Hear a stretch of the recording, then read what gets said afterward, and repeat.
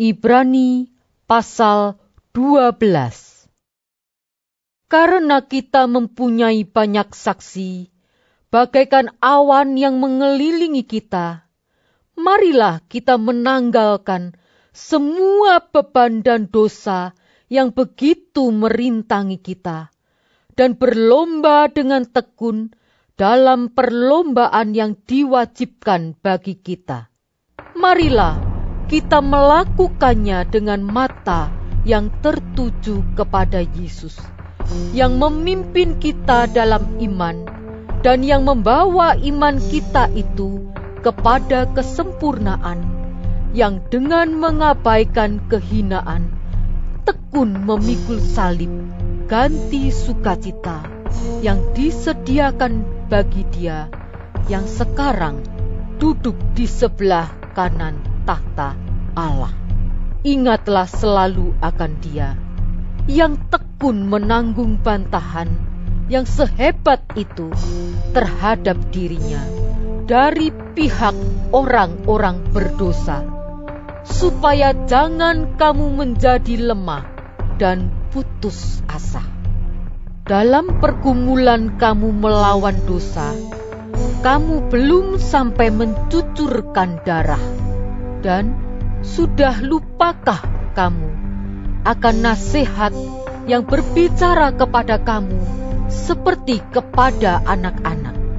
Hai anakku, janganlah anggap enteng didikan Tuhan, dan janganlah putus asa apabila engkau diperingatkannya. Karena Tuhan menghajar orang yang dikasihinya dan ia menyesah orang yang diakuinya sebagai anak. Jika kamu harus menanggung ganjaran, Allah memperlakukan kamu seperti anak. Di manakah terdapat anak yang tidak dihajar oleh ayahnya? Tetapi, jikalau kamu bebas dari ganjaran yang harus diderita setiap orang, maka kamu bukanlah anak, tetapi anak-anak gampang. Selanjutnya, dari ayah kita yang sebenarnya, kita beroleh ganjaran, dan mereka kita hormati.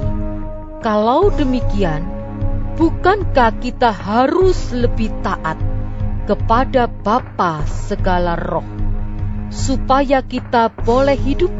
Sebab mereka mendidik kita dalam waktu yang pendek, sesuai dengan apa yang mereka anggap baik. Tetapi Dia menghajar kita untuk kebaikan kita, supaya kita beroleh bagian dalam kekudusannya. Memang tiap-tiap ganjaran pada waktu ia diberikan tidak mendatangkan sukacita tetapi duka cita. Tetapi kemudian ia menghasilkan buah kebenaran yang memberikan damai kepada mereka yang dilatih olehnya. Sebab itu, kuatkanlah tangan yang lemah dan lutut yang goyah, dan luruskanlah jalan bagi kakimu, sehingga yang pincang jangan terpelecok tetapi menjadi sembuh. Berusahalah hidup damai dengan semua orang dan kejarlah kekudusan. Sebab tanpa kekudusan tidak seorang pun akan melihat Tuhan. Jagalah supaya jangan ada seorang pun menjauhkan diri dari kasih karunia Allah agar jangan tumbuh akar yang pahit, yang menimbulkan kerusuhan dan yang mencemarkan banyak orang. Janganlah ada orang yang menjadi cabul atau yang mempunyai nafsu yang rendah seperti Esau, yang menjual hak kesulungannya untuk sepiring makanan. Sebab kamu tahu bahwa kemudian Ketika ia hendak menerima berkat itu, ia ditolak, sebab ia tidak beroleh kesempatan untuk memperbaiki kesalahannya, sekalipun ia mencarinya dengan mencucurkan air mata. Sebab kamu tidak datang kepada gunung yang dapat disentuh dan api yang menyala-nyala, kepada kekelaman, kegelapan, dan angin badai, kepada bunyi sangkakala dan bunyi suara yang membuat mereka yang mendengarnya memohon, supaya jangan lagi berbicara kepada mereka, sebab mereka tidak tahan mendengar perintah ini. Bahkan jika binatang pun yang menyentuh gunung, ia harus dilempari dengan batu. Dan sangat mengerikan pemandangan itu. Sehingga Musa berkata, Aku sangat ketakutan dan sangat gemetar. Tetapi kamu sudah datang ke Bukit Sion, ke kota Allah yang hidup, Yerusalem surgawi dan kepada beribu-ribu malaikat, suatu kumpulan yang meriah, dan kepada jemaat anak-anak sulung yang namanya terdaftar di surga, dan kepada Allah yang menghakimi semua orang, dan kepada roh-roh orang-orang benar yang telah menjadi sempurna, dan kepada Yesus, pengantara perjanjian baru dan kepada darah pemercikan yang berbicara lebih kuat daripada darah Habel. Jagalah supaya kamu jangan menolak Dia yang berfirman. Sebab jikalau mereka yang menolak Dia yang menyampaikan firman Allah di bumi tidak luput, apalagi kita jika kita berpaling dari Dia yang berbicara dari surga, waktu itu suaranya menggoncangkan bumi. Tetapi sekarang ia memberikan janji. Satu kali lagi, aku akan menggoncangkan bukan hanya bumi saja, melainkan langit juga. Ungkapan satu kali lagi menunjuk kepada perubahan pada apa yang dapat digoncangkan, karena ia dijadikan supaya tinggal tetap apa yang tidak tergoncangkan. Jadi, karena kita menerima kerajaan yang tidak tergoncangkan, marilah kita mengucap syukur dan beribadah kepada Allah menurut cara yang berkenan kepadanya dengan hormat dan takut. Sebab Allah kita adalah api yang menghanguskan.